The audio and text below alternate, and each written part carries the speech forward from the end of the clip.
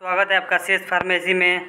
और आज हम लोग बात करेंगे सोशल फार्मेसी के मोस्ट इम्पोर्टेंट क्वेश्चन के बारे में। तो वीडियो अच्छी लगेगी तो लाइक, सब्सक्राइब, शेयर ज़रूर कीजिएगा दोस्तों, और अंत तक वीडियो के साथ बने रहिए। तो चलते हैं हम लोग क्वेश्चन की तरफ़। पहला क्वेश्चन कह रहा है which of the following is a set of bacterial disease यानी कि निम्न में से दिया गया हुआ एक सेट है जो बैक्टीरियल डिज़ीज़ हो बैक्टीरिया की वजह से होने वाले डिज़ीज़ हैं। ठीक है दोस्तों? तो मलेरिया इसमें पहला क्वेश्चन देखते हैं। तो पहला ऑप्शन कर रहा है मलेरिया तो ये ये मच्छर के काटने से होता है ना कि ये बैक्टीरिया की वजह से, ये वायरस की वजह से होता है। एनाफिलिज मच्छर के काटने से पोलियो वायरल है और ये मम्स है जो बैक्टीरिया के कारण होता है। दूसरे में क्या है? यानी कि ये नहीं होगा। ठीक है दोस्तों?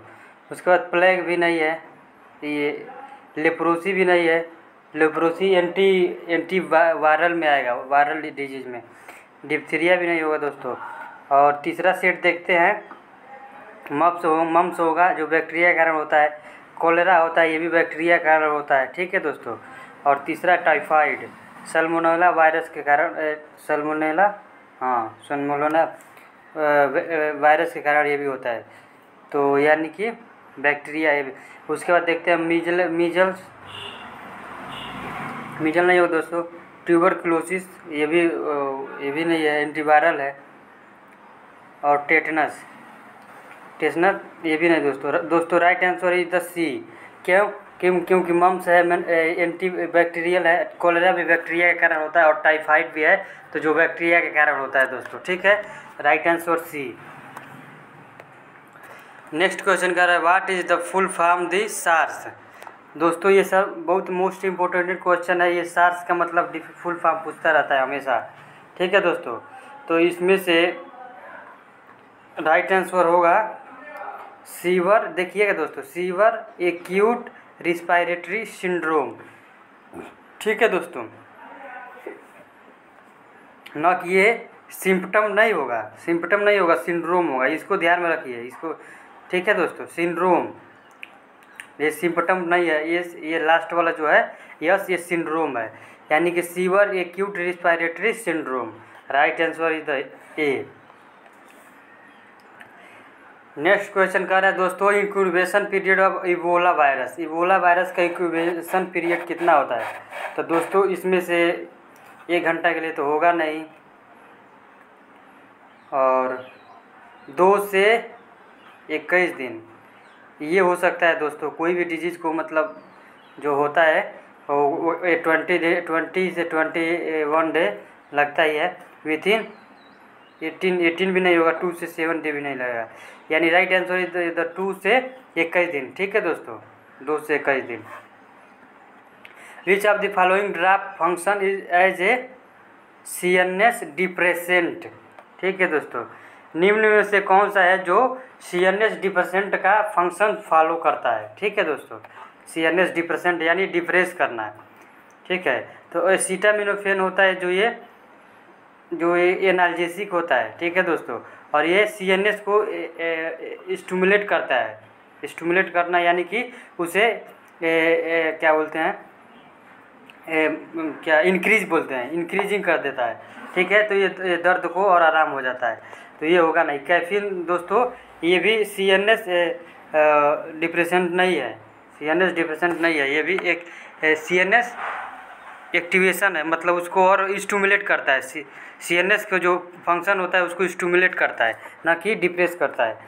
और O P M O P M दोस्तों, ये राइट आंसर होगा O P M O P M जो होता है, ये सी एन एस को डिप्रेस कर देता है। यानी कि आदमी जो पेशेंट होता है, उसको मतलब शांत कर देता है, काम कर देता है। कोकीन होता है ये दोस्तों ये भी स्टूमुलेट कर देता है जिससे हम लोग के शरीर में एक्टिविटी ज़्यादा आ जाती है मतलब एक्टिविटीज़ बढ़ जाती है। यानी हम लोग हम लोग ये कह सकते हैं कि क्षमता जो होता है पावर एनर्जी होता है वो बढ़ जाता है। ये सीटामिनोफेन से कैफीन से और कोकेन से।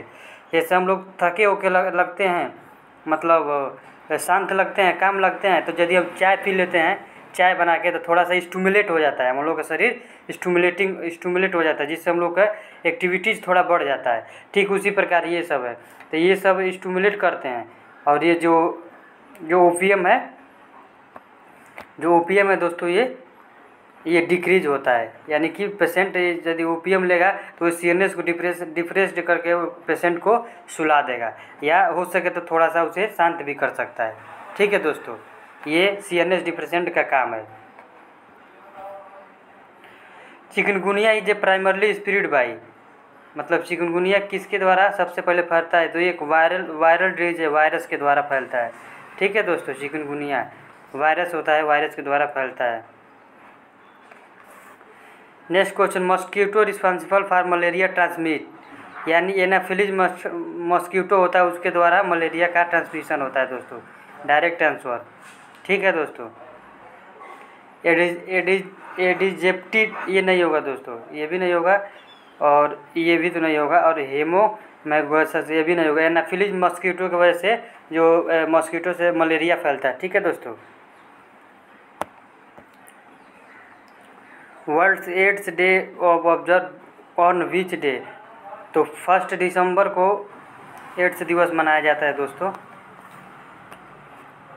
The program to get total reproductive health as a social goal of national level are called देखिए दोस्तों ये क्या कर रहा है। ऐसा प्रोग्राम जो total reproductive health as a social मतलब कि जो हम लोग के सामाजिक तौर पर समाज में जो एक उद्देश्य बना जाता है नेशनल लेवल पर कि हम लोग का जो प्रजनन से संबंधित जो हेल्थ के बनाए जाते हैं, उसे किसके अंतर्गत रखा जाता है?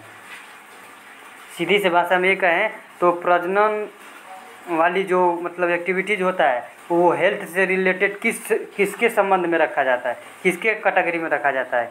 तो फैमिली ऑर्गेनाइजेशन में नहीं रखा जाता है। क्या फैमिली प्लानिंग में रखा जाता है? तो हाँ दोस्तों फैमिली केयर में नहीं रखा जाएगा दोस्तों, ठीक है? और रिप्रोडक्टिव केयर में तो ये पूरा भाषा ये, पूरा लैंग्वेज पूरा नहीं है। ठीक है दोस्तों राइट आंसर फैमिली प्लानिंग के अंदर रिप्रोडक्टिव हेल्थ सिस्टम को रखा जाता है कि कितने संतान, कितने चाइल्ड्स का बर्थ होना है, कितने ये पीरियड होना चाहिए, कितना समय लगे कितना समय का अंतराल पर बच्चा होना चाहिए फ़र्स्ट कितने दिन पे होना चाहिए सेकंड कितने दिन पे मतलब कितने बीच का डिफरेंस कितना होना चाहिए। दोस्तों तो ये सब बातें बताया गया है फैमिली प्लानिंग के अंदर आता है। ठीक है दोस्तों।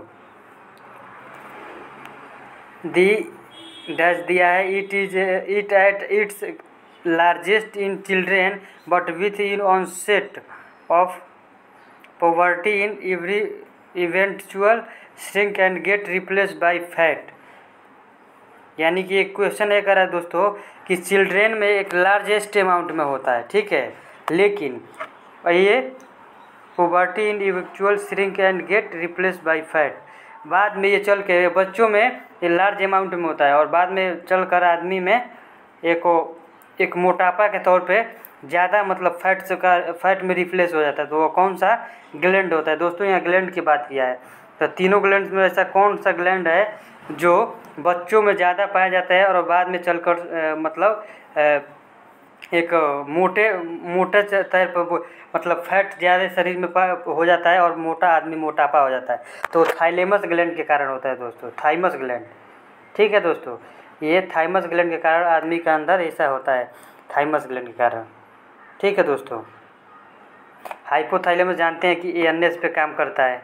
ठीक है और पैराथाइड, पैराथायराइड ग्लैंड, ये तो केवल जो स्लाइवा सिक्रीसन सिक्रीसन करता है, जो डाइजेस्टिव में हेल्प करता है। ठीक है दोस्तों नॉन ऑफ़ दिज में कोई नहीं थे right answer is thymus.